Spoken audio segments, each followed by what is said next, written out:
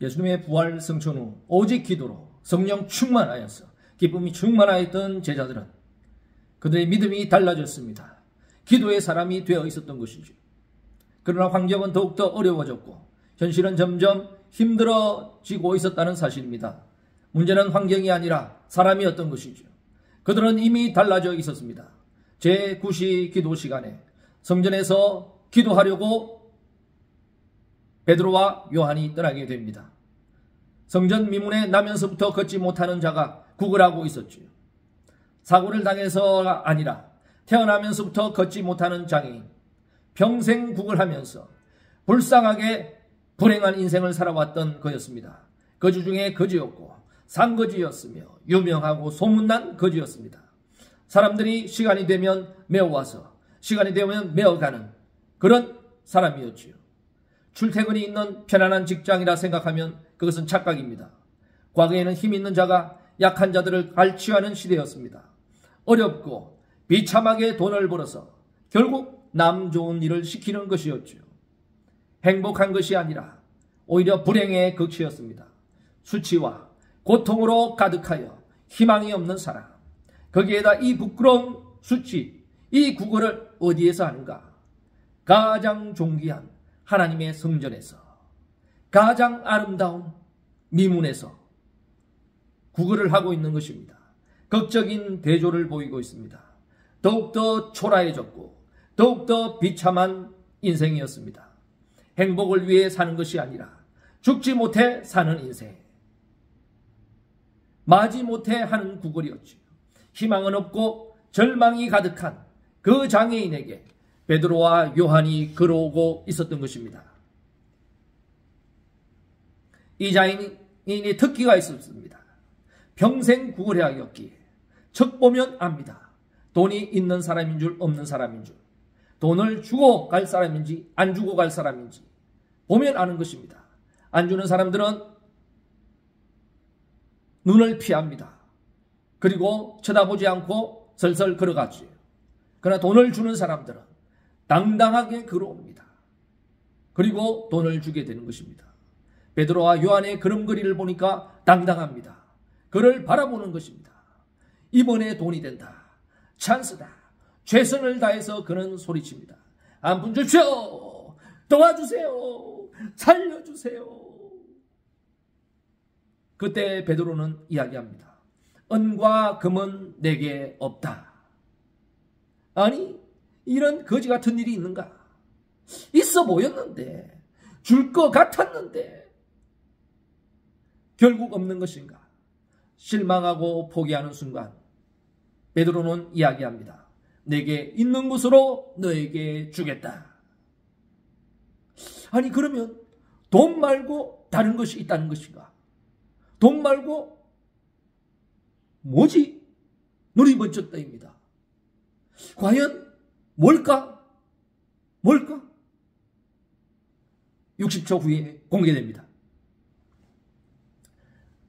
나는 예수님을 가졌는데 이 예수님을 너에게 준다. 예수님의 이름으로 일어나 걸어라. 손을 잡고 예수님의 이름으로 명령하니 다리에 힘이 생기고 일어나 걷고 뛰고 찬양하게 되는 것입니다. 너무나도 놀라고 너무나도 신기하고 너무나도 기쁘고 감사하고 행복해서 이루 말할 수가 없는 것입니다. 기뻐 뛰며 찬양을 합니다. 춤을 춥니다. 주님 안에서는 이런 놀라운 일들이 일어납니다. 놀라운 역사가 일어나는 것입니다. 예수님의 이름으로. 오늘도 우리 교회에 예수님의 이름으로 이런 놀라운 역사가 일어나길 원합니다. 이런 역사가 일어나는 성도들이 되시기를 주님의 이름으로 간절히 축원드립니다. 예수님의 이름으로 고친 이 베드로는 어땠겠습니까? 당시 돌아보게 되면 돈이 없어서 죄송해요. 미안해요. 돈이 없지만 돈 대신 이거라도 받으세요. 과연 이런 심정이었을까요? 돈보다 못한 이름, 돈보다 못한 예수님을, 돈보다 못한 예수님의 이름으로 명령했을까요? 아닙니다. 제자들은 달라졌습니다. 예수님의 이름이 초라한 이름이 아니라 예수님의 이름이 비굴한 이름이 더 이상 아니었습니다. 부끄러운 이름이 아니었습니다. 오히려 당당하게 전했습니다. 내가 만약 돈이 있어 돈을 주었으면 너는 큰일 날 뻔했다. 너는 망했다. 너는 평생 거지로 살다가 지옥 갈 뻔하였구나. 돈보다 더 좋은, 돈보다 더 놀라운, 돈보다 더 능력 있는 예수님의 이름으로 일어나 걸어라. 일어나 걸어라.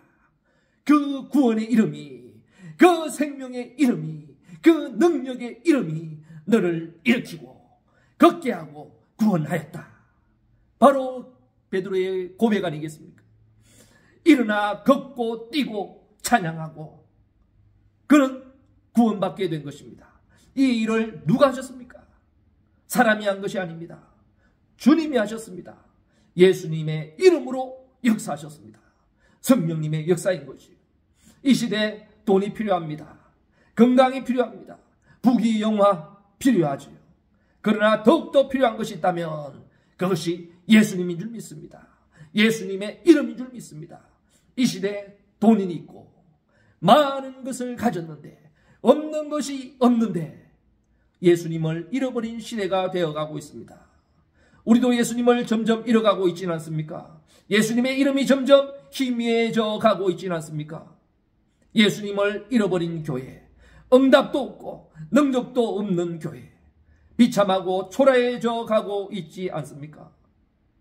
다 없어도 집도 없고 차도 없어도 돈도 없어도 능력도 없어도 예수님만 계시면 불쌍한 교회가 아닙니다. 불쌍한 성도가 아닙니다. 오늘도 예수님이 계시면 비참한 것이 아니라 놀라운 교회인 것입니다. 생명의 교회인 것입니다. 살아있는 교회인 것입니다. 행복한 교회가 되는 것입니다. 다 가지고 예수님이 없는 인생, 다 가지고도 예수님이 없는 그런 교회가 되지 마시고, 다 없어도 예수님 가져서 예수님의 이름으로 응답받고 역사가 일어나는 그런 인생 되시길 바랍니다.